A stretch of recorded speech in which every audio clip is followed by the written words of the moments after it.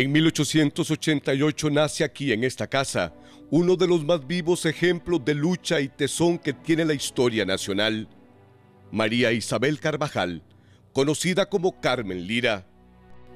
Ganó una beca para ampliar sus estudios sobre educación preescolar en la Universidad de París.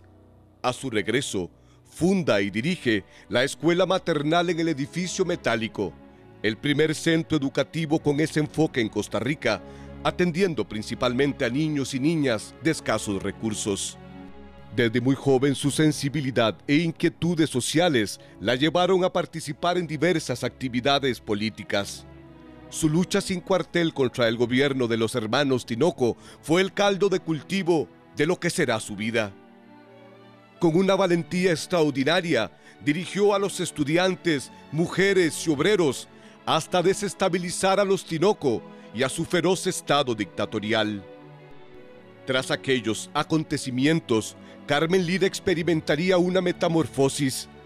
Ya era un ícono para su pueblo y en lo sucesivo luchará con todo su ser contra las injusticias, formando parte fundamental de los movimientos populares de la primera mitad del siglo XX.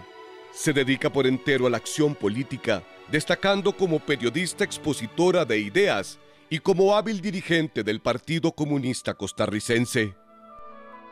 En el campo de la escritura, se inició de la mano de su amigo Joaquín García Monge, quien la define así en el repertorio americano. Carmen Lira ya es el símbolo de la libertad de su patria. Escribe varias historias y cuentos para textos escolares y publica algunas historias de profundo compromiso con la gente más desposeída.